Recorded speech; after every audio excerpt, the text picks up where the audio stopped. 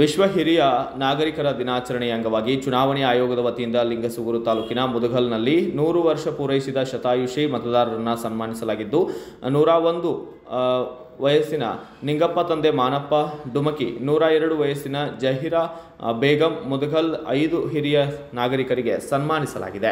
ರಾಜ್ಯ ಚುನಾವಣಾ ಆಯೋಗದ ನಿರ್ದೇಶನದಂತೆ ತಾಲೂಕು ಆಡಳಿತ, ಲಿಂಗಸುಗುರು ತಹಸೀಲ್ದಾರ್ ಇವರ ನೇತೃತ್ವದಲ್ಲಿ ಮುದಗಲ್ ಪಟ್ಟಣದ ವಿವಿಧ ವಾರ್ಡ್ಗಳಲ್ಲಿ ನೂರು ವರ್ಷಗಳ ಪೂರೈಸಿದ ಪಟ್ಟಣದ ಕಿಲ್ಲಾ ಹಾಗೂ ಮೇಗಳಪೇಟೆಯ ಹಿರಿಯ ನಾಗರಿಕರಿಗೆ ಗೌರವಪೂರ್ವಕ ಸನ್ಮಾನಿಸಿ ಪ್ರಮಾಣ ಪತ್ರ ವಿತರಣೆ ಮಾಡಲಾಗಿದ್ದು, ಈ ಸಂದರ್ಭದಲ್ಲಿ ತಹಸೀಲ್ದಾರ್ ಶಶಾಲಂ ಮತ್ತು ಉಪ ತಹಶೀಲ್ದಾರ್ ತುಳಜಾರಾಮ್ ಸಿಂಗ್, ಮುದಗಲ್ ಮಂಡಲ ಅಧ್ಯಕ್ಷ ಸನಸಿದ್ದಯ್ಯ ಸ್ವಾಮಿ, ಶಾಸಕರ ಆಪ್ತ ಸಹಾಯಕರಾದಂತಹ ಫಕೀರಪ್ಪ ಕುರಿ ಸೇರಿದಂತೆ ಅನೇಕರು ಕೂಡ ಇದೇ ವೇಳೆ ಭಾಗಿಯಾಗಿದ್ದು, ನಾಡ ಕಚೇರಿಯ ಸಿಬ್ಬಂದಿ ವರ್ಗದವರು ಗ್ರಾಮಸ್ಥರು ಕೂಡ ಉಪಸ್ಥಿತರಿದ್ದರು.